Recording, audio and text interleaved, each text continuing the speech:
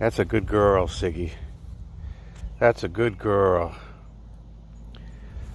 Siggy's first steps on a leash. Amazing, brave little girl whom I love with all my heart.